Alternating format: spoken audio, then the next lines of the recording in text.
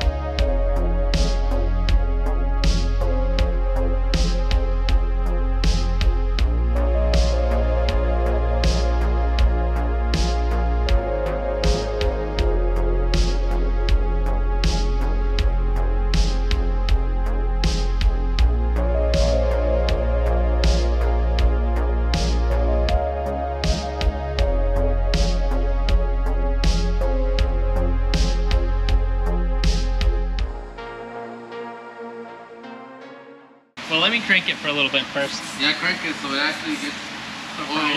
Hey, Where's it go? The tripod, right? Huh? So where it does goes it where go? that where this tin is. And what you're putting on. Uh-huh. Yeah. Oh, You what? see, you like this. See which one's the one?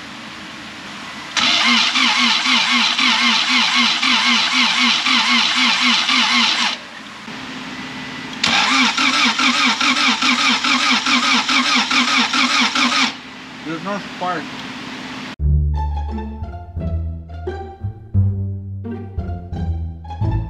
So I just want to quickly take a second and talk about why I wasn't getting any spark. So it all comes down to really the distributor here. This is one I bought that was supposed to fit the car, which it does. Um, but one thing we noticed, we think, uh, first of all, the igniter inside's bad because period, the end, nothing. But also, this will be hard to show you, but this shaft is totally jammed up. Like I can spin the whole thing around.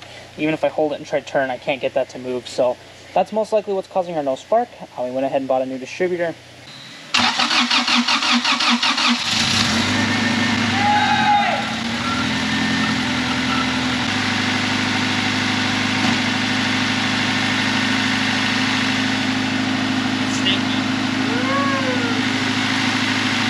we popped the leak.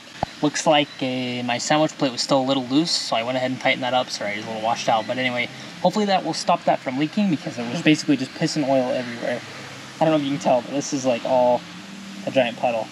So the loud clacking you're hearing while running was because of a valve clearance issue. I went ahead and did all the valves, so you saw that while I was building the motor.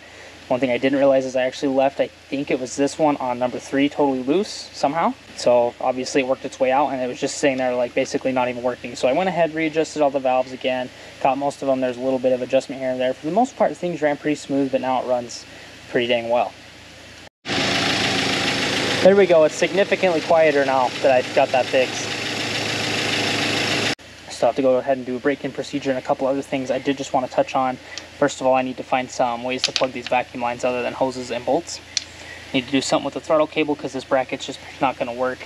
And they are kind of model specific, but things I have done so far to keep this running. Uh, obviously replacing these, I don't know if anyone noticed so far, but totally trashed.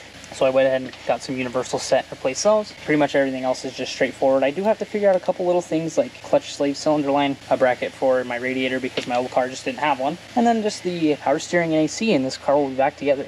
Well, that pretty much marks the end of the video. We got the motor in the car and it's running. The next video I'm going to be working on is it driving. We're going to take it on its first drive. So if you're interested in that, please subscribe to the channel. Keep updated. That'll be coming out within this month. I'm very excited to see where this goes and I'm happy to say that I've got this far. Overall, I'm really impressed with this car and I feel like it's come a long way. So as always, if you have any questions, comments, or concerns, leave those down below in the comments and have a wonderful day.